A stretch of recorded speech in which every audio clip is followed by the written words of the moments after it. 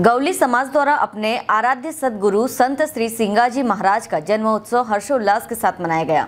जन्मोत्सव को लेकर दो दिवसीय आयोजन भी किया गया जिसमें 28 अप्रैल शुक्रवार को शाम सात बजे आरती और आठ बजे भजन संध्या का आयोजन किया गया। 29 अप्रैल शनिवार को जूनी कचहरी स्थित श्री संत सिंगाजी मंदिर में गुलाब के फूलों से मंदिर का आकर्षक सुंदर श्रृंगार भी किया गया।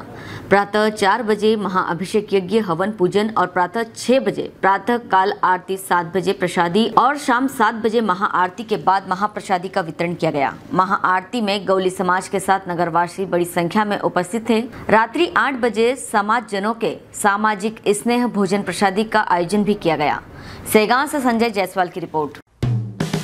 हेलो फ्रेंड्स आप देख रहे हैं हमारा channel S W twenty four news हमारे सारे वीडियो सबसे पहले देखने के लिए आप हमारे चैनल को सब्सक्राइब करें और पास में लगे बेल आइकोन को दबाना बिल्कुल भी ना भूलें।